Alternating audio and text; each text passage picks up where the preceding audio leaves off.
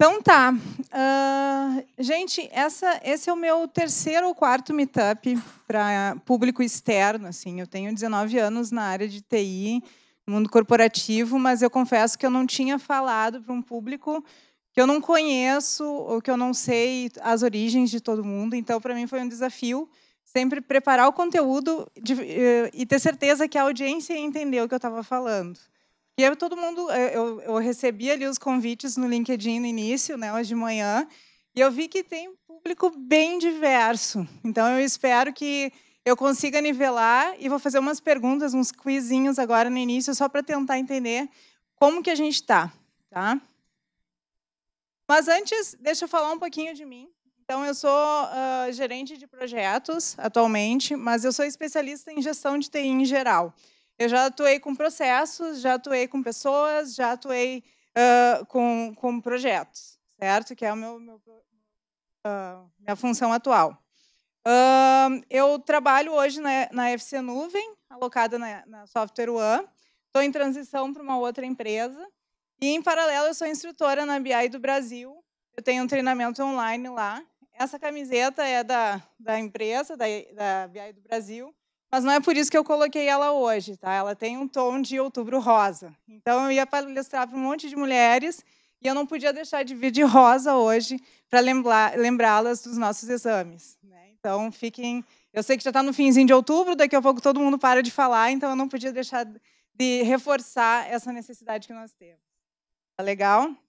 Bom, então eu comecei a minha carreira com, com infraestrutura, ao contrário de muitas de vocês aí eu não codo nada. Eu não sei fazer uma linha de código, eu não sei nem da Select. Mentira, Select até aprendi, né? Porque tinha que mexer nos meus sistemas gerenciais, trabalhar com banco de dados, isso eu trabalhei um pouquinho. Mas assim, a minha raiz é infra e a palestra de hoje ela é sobre cloud computing. Eu não vou falar detalhes, não vou entrar no TCP/IP, não vou falar parte técnica. A gente vai falar diversos aspectos que não os técnicos, certo? Uh, além de tudo isso que eu fiz, eu iniciei na área de infraestrutura, depois eu resolvi mudar minha carreira. Eu trabalhei cinco anos como analista e eu vi que eu precisava fazer algo diferente. que eu gostava muito era de organizar as coisas dos outros, ao invés de eu estar fazendo as minhas. Então, eu resolvi estudar administração, atuei na coordenação da equipe e fui avançando para o outro lado na carreira Y sabe? A gente começa né, como analista e depois você escolhe para que lado vai. Ou vai se tornar especialista na parte técnica ou vai entrar na parte de gestão. Eu, eu optei pela parte de gestão, mas por uma questão de perfil mesmo. Tá? Atualmente, eu entrei no mundo do desenvolvimento há uns quatro anos atrás, quando eu comecei a gerenciar projetos de desenvolvimento, aprendi Agile. Uh, hoje eu descobri que eu era PO, Product Owner, não sabia, porque o nome da minha função era gerente de projetos. Na realidade, eu era uma Product Owner, e, e, isso é muito bacana, né? A gente vai aprendendo, vai amadurecendo, vai estudando as teorias, e às vezes tu vê que está fazendo coisas que, de repente, dão um nome legal, né? Um nome que, que surge aí. Então, uh, estudando Agile, eu aprendi isso, né? E, além de tudo isso, eu sou mãe do Luiz Henrique. Né? Eu não podia deixar de, de trazer isso, que é nas horas vagas, né, em, toda, em todos os minutos livres, eu penso. Então tá. Primeiro passo. Qual é o seu nível de conhecimento em cloud? Levanta a mão quem é A, iniciante no tema. Oh. B, estou tendo contato básico no trabalho, já fiz alguns cursos. Domino uma plataforma. Azure, AWS. Azure? AWS. Legal. Mais alguém? Sou multi-cloud. Multi-cloud. Azure e AWS.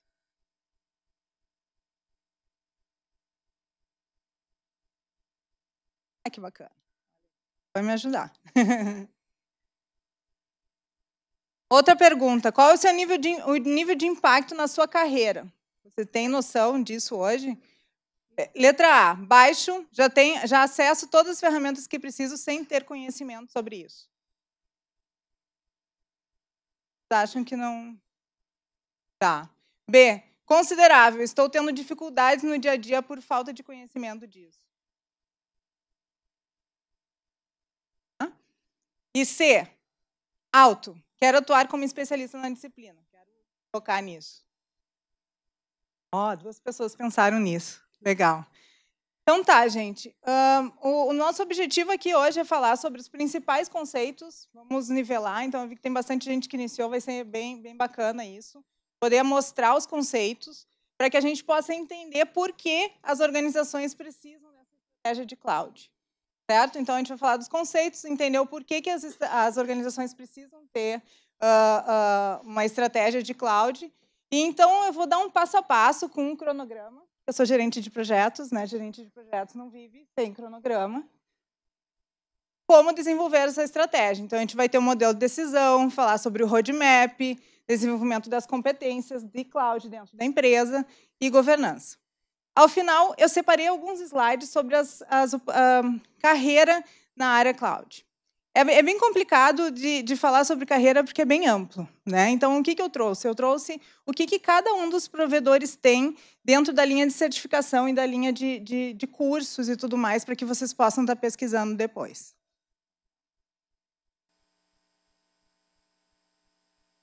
Então, assim, falando em conceito, eu espero que o conceito que vocês tenham sobre cloud é um pouquinho melhor do que isso aqui. Né? Que ele está fazendo o upload das coisas deles para a nuvem. Né? É, quando eu estava preparando, eu pensei em trazer o vídeo da, da, Dilma falando sobre cloud. Não sei se vocês viram, se pesquisar, tem no YouTube.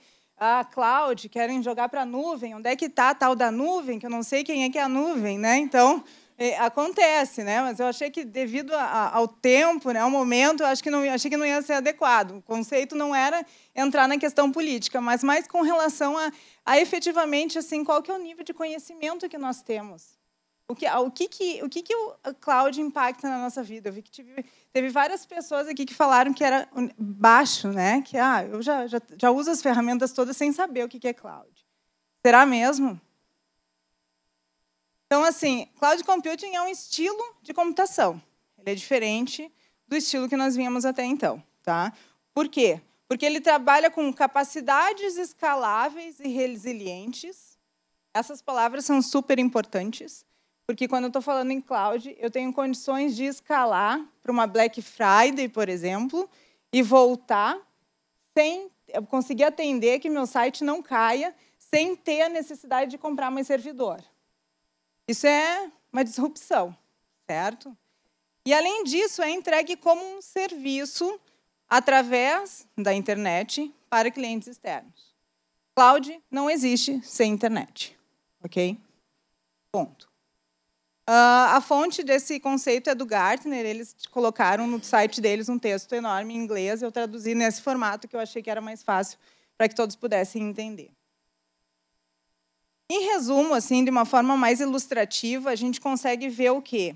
Nessa imagem eu tenho a nuvem, a tal da cloud, no meio, e em volta eu tenho as formas de acesso à minha nuvem. Eu vou acessar ela através de, de fone. Todo mundo que está com fone na mão aí está acessando o cloud. Né? Vocês estão acessando o Gmail, estão acessando o Facebook, acessando tudo que for, está em cloud. Laptops, o meu agora, essa apresentação, ela não está em cloud, porque está local aqui. Né? Por acaso ela tá ele está fora da internet, inclusive não está, mas normalmente a gente está acessando serviços na nuvem, os tablets, desktops e até servidores. Ó. Veja bem, isso aqui a gente vai falar depois. Esse conceito de como que os servidores acessam a nuvem. Uh, nós temos três níveis uh, de, de, tipo de cloud. Primeiro, eu estou falando de serviços de infraestrutura. Então, uh, eu vou ter aqui o IAS. Plataforma, o PaaS. E application é o Software as a Service. Vamos exemplificar. Então, quando eu falo em application, eu estou falando em SaaS. SaaS vocês já ouviram falar, né? Software as a Service. Então, uh, é internet, browser, e-mail servers, Dropbox, social network, tudo isso que eu falei para vocês é software as a service. A, minha aplicação da folha de pagamento, que eu acesso lá na empresa, que é terceira, que não é da empresa, que às vezes está fora quando cai a internet. Software as a service. Né? Isso acontece muito. A aplicação de recursos humanos. Aplica várias aplicações hoje em dia que tem algumas áreas das empresas que contratam externo e é via browser, é software as a service. A empresa paga somente pelo serviço, não sabe o que, que tem por baixo. Tá? Então, aqui a gente entra numa camada de várias coisas. Depois, nós temos o Platform, que é a Platform as a Service. Esses aqui, eu tenho certeza que esses nomes todos aqui vocês já ouviram falar bem.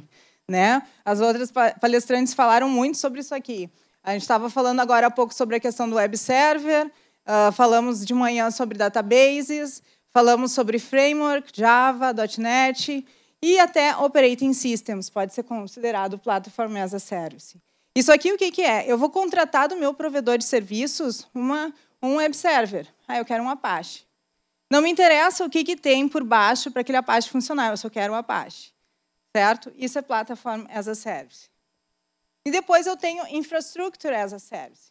Daí aqui a gente está falando da parte de infra mesmo. E, e eu quero um, um, um, servidor e em cima daquele servidor eu vou configurar tudo nele. Daí a gente fala em network, eu falo em CPU, em capacidade de memória, de armazenamento, máquina virtual e assim por diante. Então isso aqui é uma camada mais baixa, ok? Então, uh, consolidando tudo, todo, tudo isso num diagrama que o Gartner trouxe, eu gosto muito de trazer coisas do Gartner, porque o Gartner ele não é direcionado a nenhuma plataforma. Não é Microsoft, não é AWS, é uma, ele teoricamente é um, é um, é um, um, um órgão que é uh, a, a, alheio às plataformas. Então, ele traz conceito mesmo. Tá? Por isso que eu trouxe material e conceitos deles. Então, assim, ó, no meio eu tenho o quê? Self-service. É básico para a cloud ter self-service. As pessoas têm que poder ir lá, as empresas têm que poder ir lá e se auto-atender.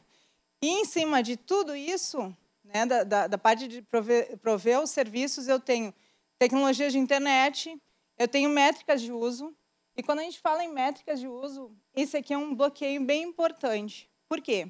Porque antes eu tinha um servidor na minha rede e eu sei o quanto eu paguei por aquele servidor. E daí, de repente, eu não vou ter mais aquele servidor. Eu vou estar usando um serviço que está na nuvem e vou pagar de acordo com o uso. É legal, por quê? Porque eu vou ter um, um shared services, eu vou estar dividindo o custo de um data center com outros clientes e eu vou ter escalabilidade. Porque, por exemplo, no, eu tenho vários servidores de web server para suportar o meu site na Black Friday. A Amazon, por exemplo. Né? Tem o pessoal da Amazon aqui. Numa Black Friday, eu preciso ter muito mais capacidade de processamento, porque vai vender muito livro, certo? E daí? Eu vou, se eu tivesse tudo on-prime, se tudo no meu data center, eu teria que ter uma capacidade, comprar mais servidores, e isso leva tempo, ou eu teria que ter lá estocado uma capacidade de armazenamento que aquele dinheiro que eu não uso durante o ano todo, que eu só uso na Black Friday, ia fora. Daí entra a parte de métricas de uso. Porque eu tenho essa escalabilidade toda, mas eu vou pagar por isso também. E, às vezes, se a estrutura não está bem organizada, se o pessoal da arquitetura não definiu claramente tudo o que precisa ser feito de forma adequada, eu vou começar a usar uma estrutura de nuvem mais do que eu tinha planejado e o meu custo vai para as alturas. E é por isso que a gente ouve histórias de empresas que estão indo para a cloud e estão retornando porque estava mais caro do que estava planejado, porque não foi bem planejado. Né? Não foram identificados todos os fatores que causavam esse impacto na, na, no, no uso. Então, assim, ah, a abordagem para eu falar de cloud é a seguinte: eu tenho aqui todo o meu data center, com toda a estrutura, daí a gente está olhando a, a, nossa estrutura de infraestrutura, de, a nossa estrutura de, de, de tecnologia em camadas. Desde o data center, a parte física, até o meu dado aqui, certo? Incluindo, incluindo aplicação. Então, aqui é o tradicional on-premises. E eu vou passando pelas etapas até chegar no software as a service que é quando eu tenho o meu dado somente gerenciado por mim. O resto é tudo do provedor. Certo?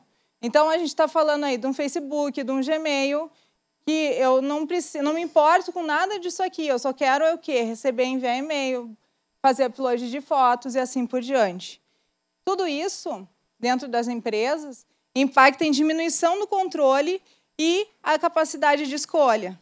Porque à medida que eu vou deixando na mão dos provedores cada um desse tipo de, de, de aspecto, eu vou perdendo o controle.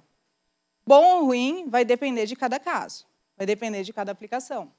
E é para isso que a gente tem que ter arquitetos de cloud, que a gente tem que ter engenheiros bem capacitados que consigam entender não só de tecnologia, mas entender também de negócio. E, aí entra a questão. Eu tenho aqui meu data center. Imaginem que a gente investiu uma grana, né? Para poder ter um data center com toda a estrutura de, de ar-condicionado, toda a infraestrutura de controle de acesso, que eu tenho lá no Breaks, que eu tenho uh, aquela parte de gerador, eu, cabeamento estruturado, toda essa parte que eu acho que vocês não, não, não veem, quem não é de infra, não tem muita visibilidade disso, mas que vocês estão estudando e devem ter tido contato em algum momento, devem ter visitado algum data center ou visto algum vídeo no YouTube, certo? Então, tudo aquilo custa muita grana. É um investimento que quem eh, colocou o gerente ou o diretor que assinou o cheque foi, foi feito muito com muito suor, provavelmente. E daí, como que a gente vai chegar para eles e dizer que, de repente, olha, acho que a gente vai anunciar isso aqui lá no, no Mercado Livre, né? Vamos começar a anunciar os nossos servidores para venda, porque a partir de agora a gente vai jogar tudo para a nuvem, tudo para os provedores. O que, que a empresa vai fazer com aquela estrutura, com aquele data center que daqui a pouco comprou um prédio para pôr, né? Então é por isso que às vezes a gente fala em cloud, fala que cloud é, é, é, é commodity, que já é o dia a dia, é o dia a dia para as startups. As empresas que nasceram ontem e que precisam ter tudo rápido diminuiu muito o que? A barreira de entrada, quando a gente fala em, em, em qual que é, o, que é, o, nível de dificuldade para entrar no mercado, diminuiu bastante, porque uma startup hoje ela tem acesso a tudo rapidamente e sem ter que investir isso aqui, certo? Agora, para as empresas que já investiram, como é que faz? E daí a gente está falando em várias tecnologias aí, serverless.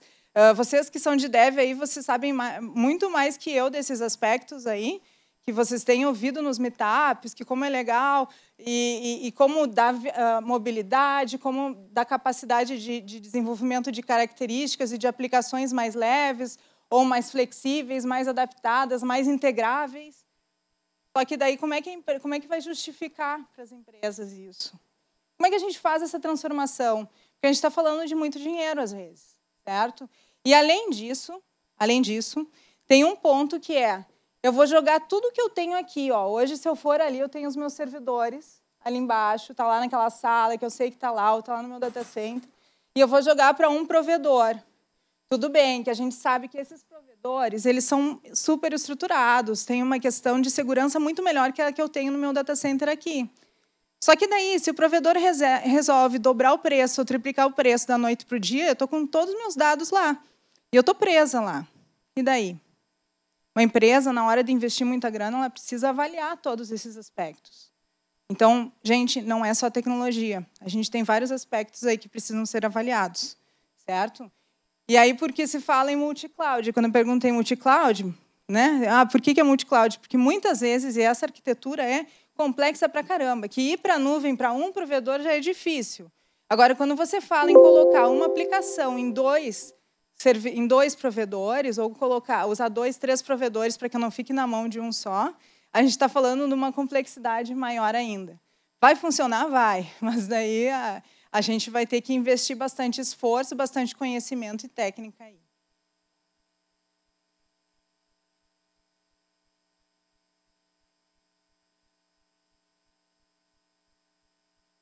Aqui.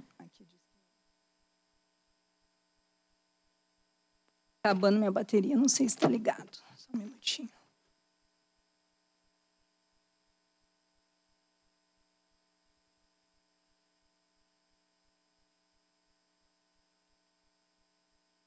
Só um pouquinho aí, pessoal.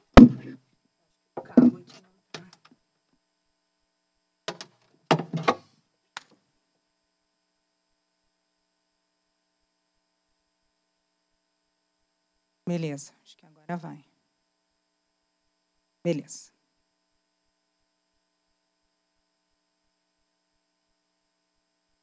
Então, assim, voltando aqui só para reaquecer. Então, eu tenho essa análise de fazer o quê? De mover tudo do meu data center, da minha estrutura local, para a nuvem.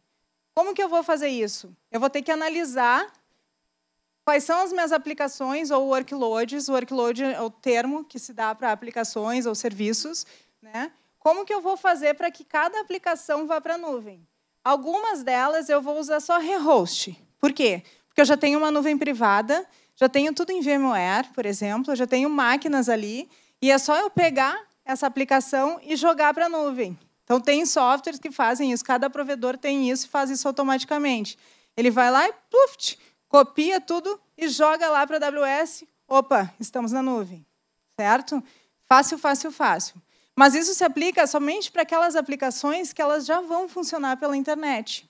Agora, eu tenho outras aplicações que daqui a pouco eu vou ter que olhar a arquitetura dela, eu vou ter que fazer um rebuild dela. Elas não necessariamente vão funcionar nessa nova estrutura. Por quê? Porque ela está trafegando pela internet. Eu preciso jogar meu banco de dados lá também. Será que isso vai funcionar? Então, é uma série de aspectos que a gente precisa avaliar. Tem algumas que não vai ter o que fazer, a gente vai ter que substituir. Vou ter que trazer uma outra aplicação. E daí, quando eu trago uma nova aplicação, eu já trago ela em quê? Em SaaS, eu já trago ela num formato de cloud. Porque essa é a melhor oportunidade, né?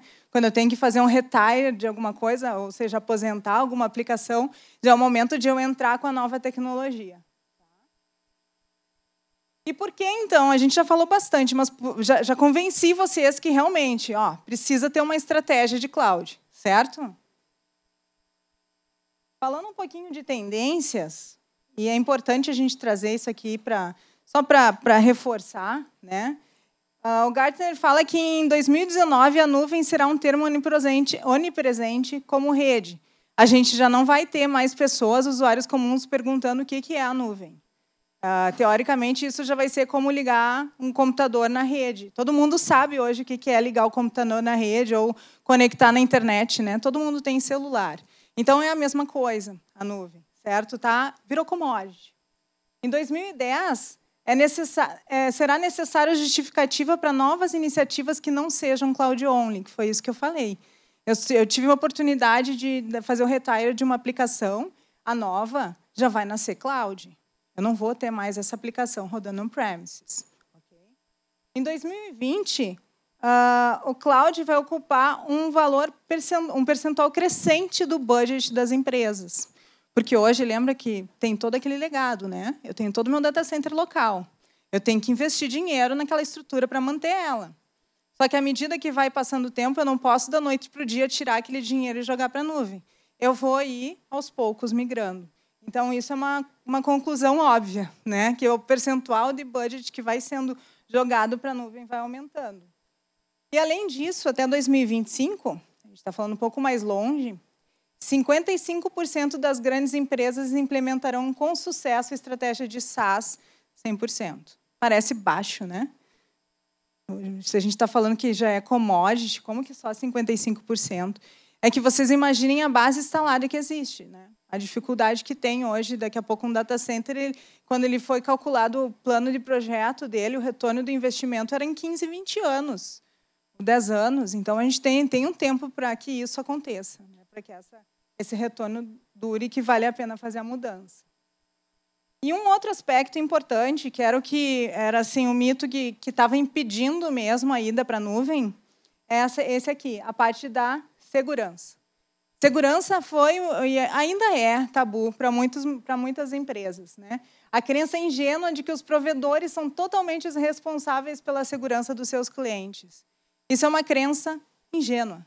Por quê? Porque muitas dos, das questões de segurança são relacionadas a como os seus funcionários usam os aplicativos internos e não necessariamente relacionado à parte de infraestrutura.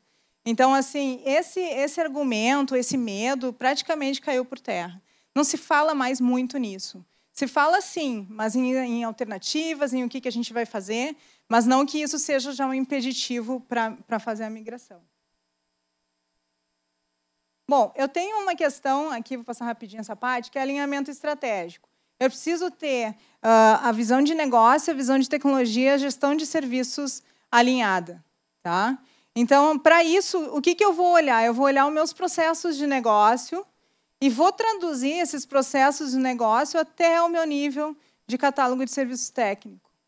Aqui, pessoal, essa imagem, eu sou, eu sou certificada em ITIL, eu estudei muito isso e eu precisava trazer alguma coisa de ITIL. Assim como eu falei do cronograma, que vai aparecer daqui a pouco, essa imagem assim, ela é muito representativa na parte de gestão de serviços. E, e é muito bacana, porque daí, com isso aqui, às vezes a gente consegue justificar um investimento, fazer um cálculo de ROI. Por quê? Porque eu consigo saber exatamente o que, que aquele servidor, ou com aquela aplicação, com aquele serviço, o quanto impacta ele, está, ele ficar parado. Se ele cair por uma hora, qual é o processo de negócio que ele está impactando? Às vezes as empresas têm isso aqui, ó, uma teia de aranha, e não conseguem entender, não conseguem saber o custo de cada serviço. Então, esse é um trabalho bem árduo do time de, de processos e de mapeamento de serviços que tem que ser feito para poder justificar bem o, o, momento da transição e a ida para a nuvem. Tá? Então, feito isso, a gente vai fazer o quê? Vai focar nos objetivos de negócio, desdobrar isso no, no, no plano estratégico, tático e então operacional. Aqui eu entrei na migração daquele servidor ou daquele, daquela aplicação específica. Notem que para chegar até aqui a gente teve que ir lá no negócio e voltar. Então, como eu vou estruturar a execução de uma estratégia para cloud? Aqui tem o nosso cronograma. Né? Uh, eu tenho dentro de cada uma dessas etapas vários aspectos, eu não vou ter o tempo hábil para abordar ali mas uh, o detalhamento. Depois eu vou disponibilizar a, a, apresentação e vocês vão poder olhar. O material é bem denso, os slides eles realmente têm bastante texto, porque é para possibilitar que vocês consultem depois. Tá? Então, assim, o primeiro aspecto é o quê? Construir um modelo de decisão para a adoção de cloud. Esse modelo de decisão ele vai olhar critérios de avaliação, benefícios esperados e então permitir eu fazer essa construção desse modelo. Eu vou olhar as aplicações que eu não tenho certeza de benefício e que são difíceis de ir para a nuvem e vou evitar levá-las para a nuvem. Vou deixar elas com prioridade lá embaixo. E vou priorizar aquelas que é muito clara a necessidade de migrar, como, por exemplo, meu web server para suportar meu Black Friday. Então, é muito fácil de justificar e eu consigo, é uma aplicação internet, vai funcionar. Então, uh, esse, esse tipo de decisão é feita. Parece simples, ah, é uma coisa tão óbvia. Vão olhar uma empresa que tenha 400 ou 500 aplicações no portfólio, para ver como é importante ter essa matriz aqui, para ver como fica o tamanho do Excel. Né? Vai precisar de um banco de dados lá do apoio da Dani para organizar tudo isso. Depois, gente, a gente vai fazer um roadmap, então, com base naquilo ali. Eu vou mapear os meus ambientes, e daí, para isso, tem ferramentas diversas no mercado. Tem ferramentas da própria Microsoft, tem ferramentas de terceiro, como o Cloudscape, que permite um nível de detalhamento e avaliação do meu monitoramento de rede, quantidade de tráfego e tudo mais. Para tudo isso, deixar mais assertivo o meu cálculo. Quanto vai custar esse servidor, esse workload específico que está hoje on-prime, quanto vai custar na nuvem? esse tipo de levantamento aqui vai tornar mais precisa essa informação. E daí, em cima disso, eu vou definir algumas priorizações e aplicar o meu cronograma de migração. E daí agora chega a parte de vocês, que eu acho que mais interessa. A gente vai precisar construir um time para tudo isso. E esse time, ele vai ter o quê? Ele vai ter arquitetos de cloud envolvidos, que daí é toda uma área nova, Provavelmente algumas empresas já têm, algumas empresas estão construindo. Eu tentei trazer assim, ah, qual que é o perfil que as empresas estão buscando? Vagas no mercado. Se a gente fizer um search por cloud nas vagas de emprego, aparece de tudo. As empresas, o RH ainda está tá, tá tentando entender o que, que é a oportunidade, o que, que é cloud. Arquiteto de cloud mesmo, assim, que, que são relacionados a IAS ou PaaS, é difícil ter uma descrição de vaga que seja relacionada especificamente. A maioria pede alguém que venha de dev e que entenda um pouco de cloud. Então, assim, eu vou ter que definir a minha capacidade de, de, de times. O meu arquiteto ele vai ter que envolver, envolver todos os outros as outras áreas. E daí aqui, por que, que eu tenho finanças? Por que, que eu tenho procurement? Porque quando eu compro um servidor, ele se torna um ativo da minha empresa, ele entra lá no meu imobilizado. E isso vai para o balanço da empresa. Quem entende um pouco de contabilidade sabe. E quando eu estou tratando de serviço, ele é despesa direta. Então, até a forma de, de, de, jogar isso na contabilidade vai impactar o balancete das empresas. E é por isso que migrar para cloud não é só técnico, eu preciso envolver outras áreas também. Então, vou definir os padrões, e daí entra o nosso arquiteto de cloud, e vou estabelecer um modelo para aprovisionamento desses ambientes. E esse modelo vai ser multi-cloud, com vários provedores ou não certo? Isso vai depender daí da estratégia que a gente definiu para cada tipo de aplicação. Depois a gente faz o planejamento, a implantação, usando todos esses aspectos que a gente falou, né, com base, podendo ou não adotar ferramentas de terceiros para gerenciar tudo isso. E ao final o famoso PDCA, só que aqui o Gartner trouxe de uma forma diferente, né, adotando para a cloud. Estão me dizendo que foi o fim. Gente, assim, ó, só para fechar a parte de carreira, mais um minutinho aqui, rapidinho. Uh, eu tenho, assim, conhecimentos básicos aí que a gente está falando da área de infra, tá? E não é só área de infra, por quê? Porque eu tenho alguns, algumas certificações aqui, por exemplo, essa da Exim, que ela não, recebe, não, não exige nenhum conhecimento muito avançado. Eu vou poder obter uma certificação de cloud Uh, é, custa, eu acho que 195 dólares essa prova, dá para fazer pela internet, tem material disponível por aí. Eu faço essa prova e eu já consigo, primeiro, provar que eu conheço, que eu sei do que, que eu estou falando. Não necessariamente eu vou ser a pessoa que vai fazer a implantação, mas pelo menos eu vou ter condições de sentar numa mesa, de fazer discussões, de uh, apoiar uh, nas decisões da empresa. Tá? Então, quem tem interesse em de repente, ah, eu quero colocar cloud no meu currículo, sair um pouquinho só de dev para poder dar uma robustez maior, eu recomendo essa certificação ou a, certificação da CompTIA também. Tá? E é claro que daí na AWS, aqui tem o site, ó, eu coloquei aqui os links, tem todo um caminho de certificação, desde a parte de funda Foundation até a parte Professional. A Microsoft, a mesma coisa. Então, eu coloquei aqui o link também para vocês poderem acessar depois.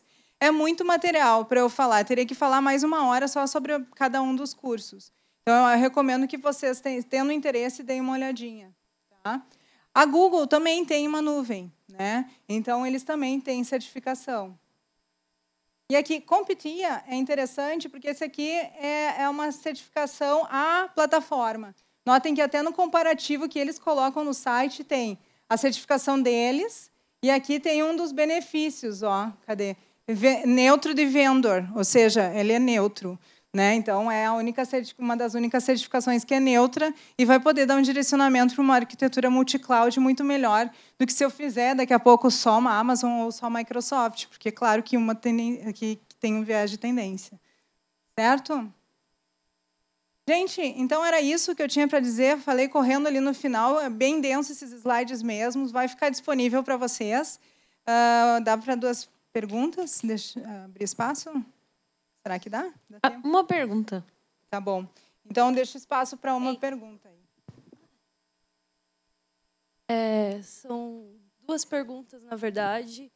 Você acredita que os frameworks que temos hoje e até mesmo as boas práticas estão preparadas ou alinhadas com esse novo movimento cloud? E a outra pergunta é se você acredita que o data center, como conhecemos hoje, que tem alguns provedores de serviço aqui no Brasil, que tem data center gigante em Tamboré, que isso vai acabar morrendo? Tá, nós temos, ah, sobre a primeira pergunta, se as práticas que nós temos, elas estão adequadas, né? A primeira é a questão de maturidade dessas práticas. Esse desenho que eu mostrei ali do ITIL, ele é um pré-requisito para fazer qualquer estudo para ir para a nuvem.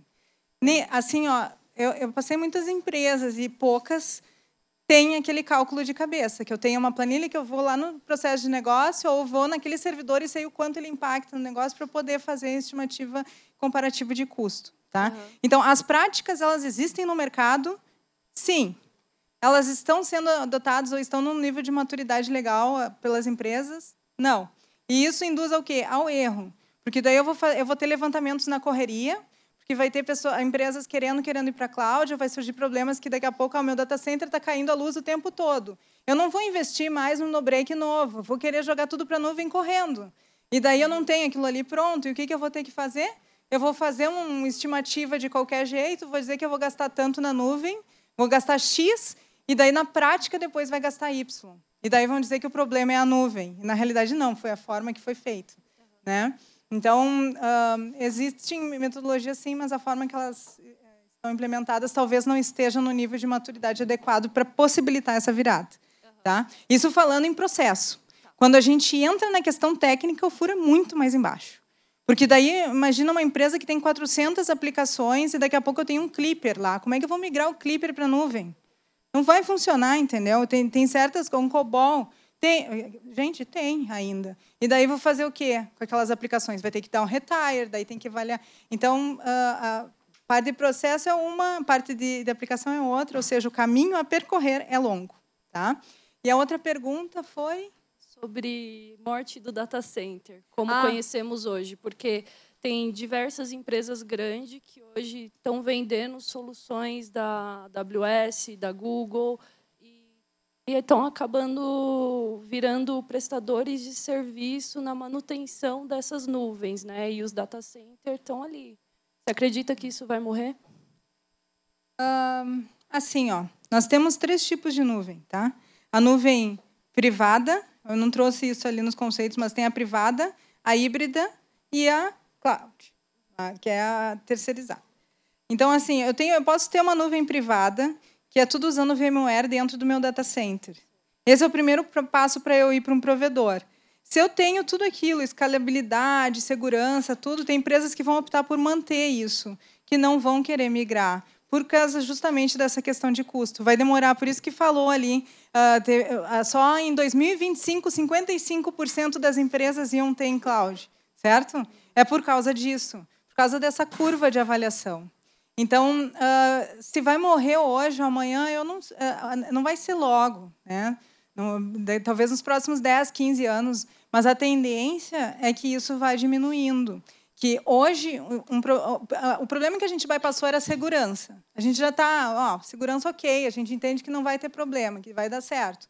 Agora, o problema é, é custo. Porque é que nem. Vocês lembram do telefone, que a minha mãe botava cadeado no telefone, né? Entrega a minha idade falando isso. Tem muita gente aqui que nem deve ter ouvido falar de botar cadeado no telefone.